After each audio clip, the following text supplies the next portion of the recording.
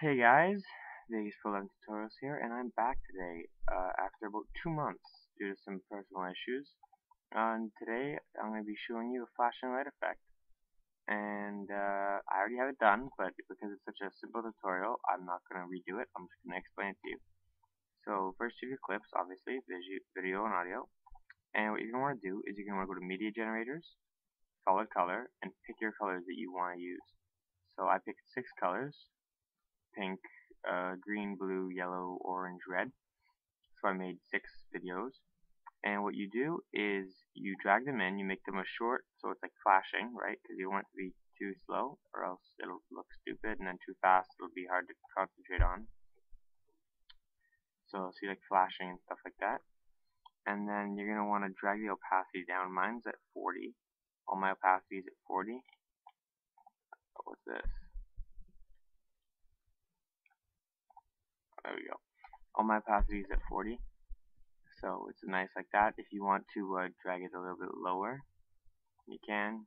You know, make it a little bit lighter green. Make it a little bit lighter pink, you know what I mean? Just so it's like less of, uh, so vibrant. But yeah. Uh, and then what you're going to want to do is you're going to want to just, uh,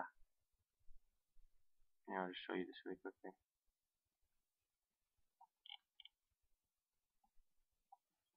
Simple way.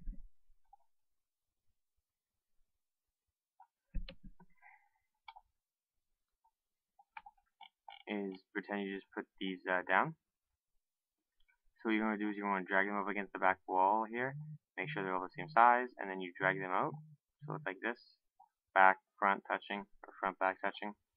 And then once you're here, at the end, you're going to want to scroll out a little bit, go left, and then hold control, and drag to the end of the red, then drag the green, and the pink one will come too. And then drag the blue, and the pink, and all of like those three will come. And drag these. And then this. And then this. And just keep doing that until all the spots are filled. And once you get to the red one, it'll drag over every single one and then you'll just need to drag over the red one uh, over and over again. so as you can see, it quickly uh, builds up, and you're done in relatively no time. Think about how long it would take to actually drag these one by one from the uh, generator. And all you have to do is just control drag and click enter a couple times.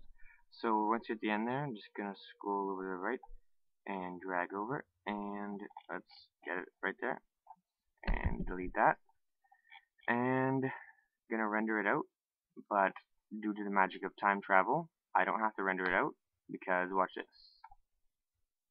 Close you want to save changes to untitled no. And voila here it is. So this is the uh, this is what it looks like when I render it out So with that, uh, let's just rewind it for a sec. My mom needed me.